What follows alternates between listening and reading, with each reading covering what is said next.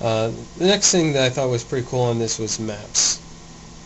iPhone comes with uh, Google Maps built in, and as you might expect, so does the, the uh, G1.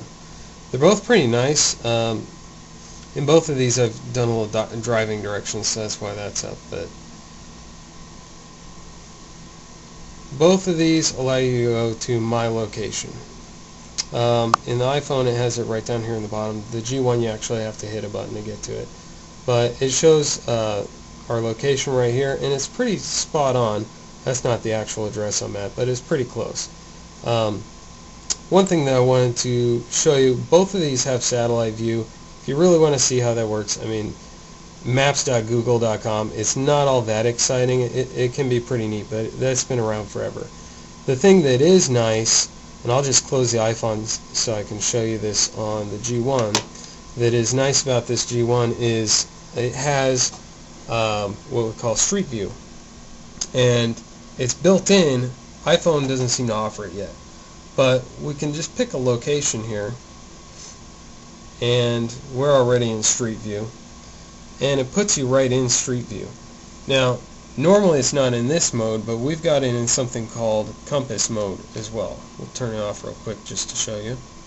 Compass mode's off, move it around nothing happens um, and you would just use your touch screen to move it around and it's it takes a little getting used to but it's not too hard to do. However, if you want to do it the easy way, put it in compass mode and you just tilt that phone to look up or down on the street. You turn it and you can see the Sam's Club across the street. Uh, let's see what else here. You can see, probably see my office in there now. Nah, lower. Yeah, there we go. Got it? Alright.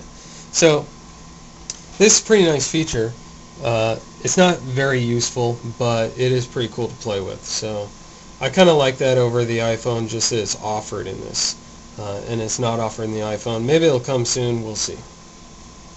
So we'll close out of that and take a look at something else that you probably use uh, as much as, if not more than the maps, and that's the browser. We've got a browser button real real close on both of these screens. And I've set this so it pulls up joetech.com on both of them. Uh, the funny thing is, I'm on Wi-Fi on my iPhone because I don't get real good uh, G3 here in my office. It's great everywhere else, just not in my office. And it seems to almost load faster on the G3 um, or the 3G on the, the G1 Google phone than it does on the iPhone. Couple things to note in here that are kind of interface problems I think. Well, it, it's really a matter of perception and, and taste. On the iPhone, you can double tap and it zooms in and it, it does kind of a smart zoom. See, it, it found the right amount of width to zoom into just to get that amount of text.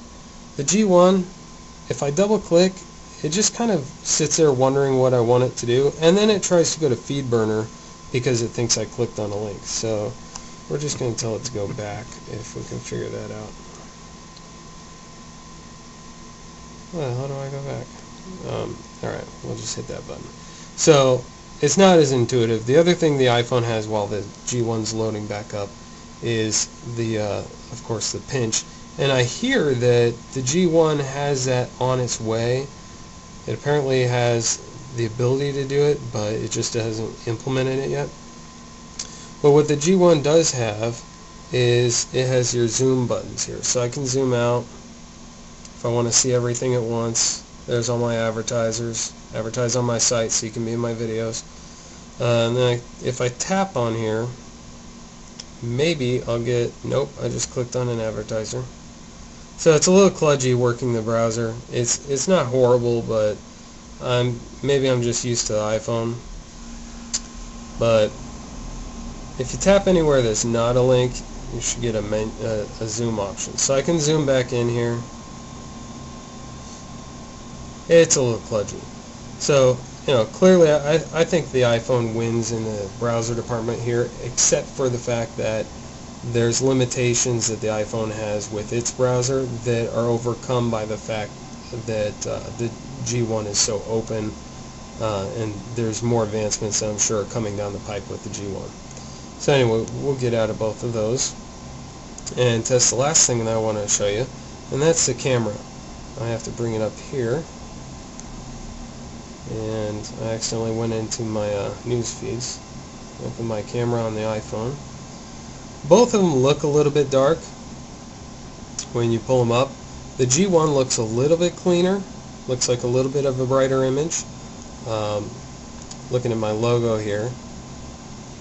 So the G1 looks a little bit cleaner, and that may be because it is. It is a, a higher resolution camera. The iPhone has only a 2 2.0 megapixel, and the G1 has a 3.2 megapixel.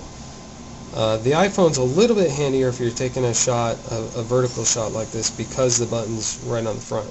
However, if you turn it, uh, the the G1 is a little handier because the button is right on the top. And so you just hit that button on either one to take a photo. So that's pretty much it for the video. Um, all all the the real exciting video stuff's in here, but there's a ton of pictures and a lot more detail on uh, on both of these phones, the specs and how some of this stuff works on joetech.com. So just go ahead and head to www.joetech.com and you get the, the full review there.